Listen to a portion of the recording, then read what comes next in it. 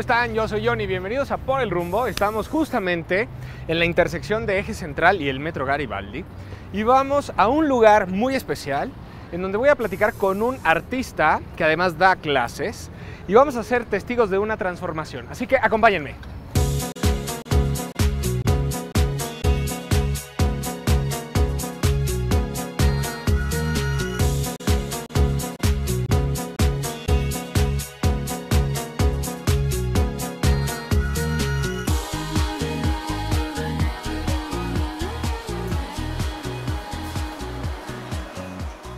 Hola, Hola.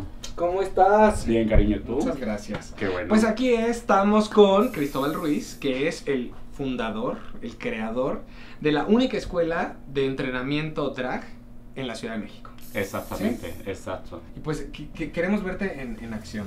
Ok. Ahora sí que soy, soy materia dispuesta. Ah, ok, pues entonces vamos a hacer una transformación un poco.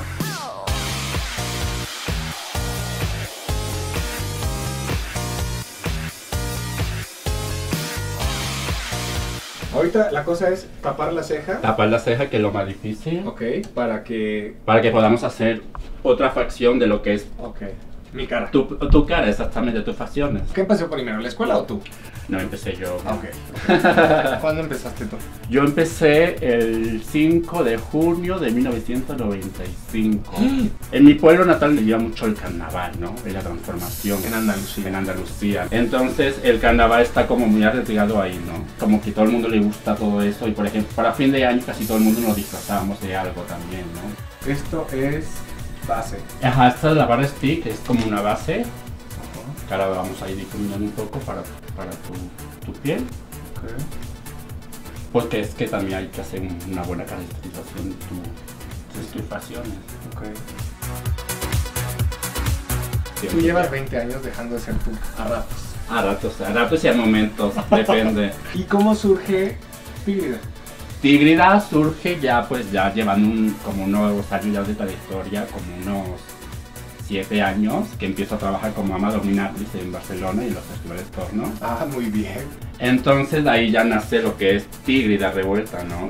Esta parte del espectáculo siempre ha sido como muy respetado, ¿no? O sea, La parte, la, el la- el como para es- ir al súper, ahí hay bronca. ahí- ¿no? ajá, pues imagínate, ¿no? Pero, pero mientras tú estés en un escenario y... y lo vean de, de otro, de otro punto de vista. Y ahora vamos a hacer como un poco de la dibuja- dibujación de la ceja, un poco, marcar un poco tus facciones. Ok. Quiero ceja de Vivi Gaitán en los 90.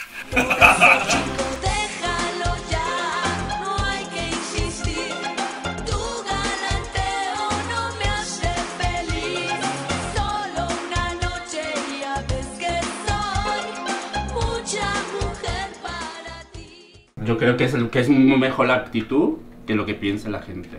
Mira, ya estamos aquí. Además de un buen maquillaje, necesitas una muy buena actitud, ¿no? Sí, totalmente. Todo esto viene del mediados del siglo XVII. A ver, No- hazme, hazme un poquito de historia, ándale. Cuéntame. Es que el drag queen viene a mediados del siglo XVII, cuando eran las óperas en, en Japón, que las mujeres no podían hacer óperas. No. Ni teatro. Es donde viene toda la raíz del, del drag, ¿no? De lo que es el hombre que tenía que hacer los papeles como mujeres Mujeres. para las obras de teatro y los musicales. El hombre que se viste de mujer. De mujer, Para una situación artística, de entretenimiento, de expresión, no es de RuPaul para acá. no exactamente. Por ejemplo, si a mí esta inquietud la quiero profesionalizar o, o llevarla a, a efectivamente, Ujú. ¿no? Tomar tus clases, ¿cómo, ¿cómo le hacemos o cómo va la cosa? Por ejemplo, la gente, yo, la gente que me contacta a través de Facebook, prácticamente.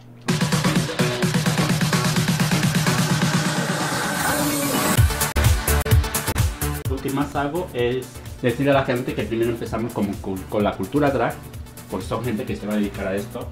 A raíz de, de todo esto de la cultura drag, ahí hago como una especie como de cuestionario para yo saber la personalidad de la persona. Ah, ok. ¿Hacia dónde va? Hacia dónde quiere dirigirse como drag queen. Ok. Y de ahí yo le digo, pues mira, tú te podrías llamar tal. Ah. A eso voy.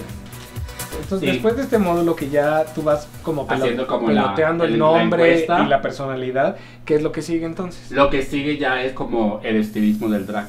Y entonces digamos que hay tres módulos nada más, ¿o cuántos módulos Hay, tres- hay como cuatro, porque luego ya eh, viene el maquillaje. Ok. Ok, y ahí viene la pestaña. Le ponen el, el pegamento. Dios mío.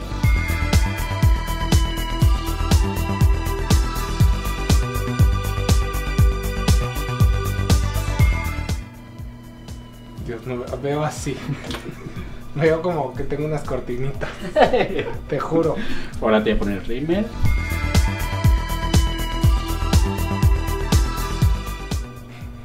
Estoy haciendo caras de mi mamá, sí.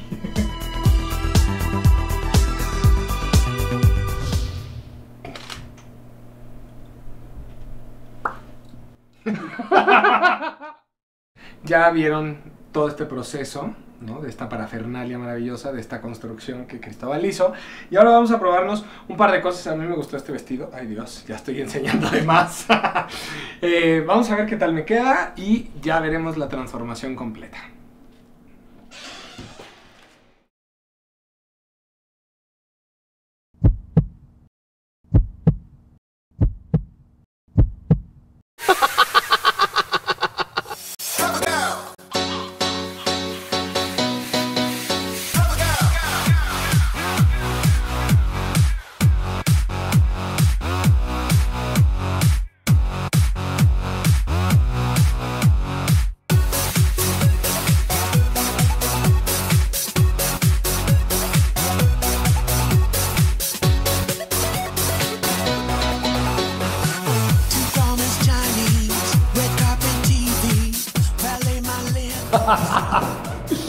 ¿Cómo, cómo estás? ¿Cómo Bien, ves? bien, te veo increíble. Sí. Divina, divina, divina. Sí.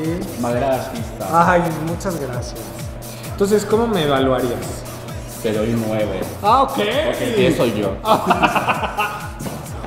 Oye, muchísimas gracias. De veras, esta experiencia estuvo súper divertida. Qué bueno, Increíble, enriquecedora. Porque, ¿sabes qué? Al final creo que el temor de todos, ¿no? Muchos, ¿no? Siendo gays o no gays, Ajá. es como perder la masculinidad. Pero creo que al final se necesitan, y aquí sí lo voy a decir así, y le pido una disculpa a mi madre si quiere, se necesitan muchos huevos para ponerse todo esto. Siento que sí. Totalmente. Es que es, además te da otra, otra actitud. Y te empodera como no tienes una idea. Muchas gracias, Cristóbal. No, pues un placer cuando guste. Y que la gente te contacte, Claro. que, la- que- quien le llamó la atención esto. Ajá, o que quieras que aprender técnicas del maquillaje sobre drag y cosas así. Muchísimas gracias. No, de nada, un placer, cariño. ¡Mua! ¡Mua! Eso. Pues nosotros nos vemos en la próxima cápsula de Por el Rumbo. Ya estuvimos aquí en esta transformación maravillosa con Cristóbal Ruiz, el fundador de la primera y única escuela en la Ciudad de México de transformismo y de todo este arte maravilloso. Eh, recuerden entrar a nuestro sitio www.serviciodeagencia.com y nos vemos en la próxima.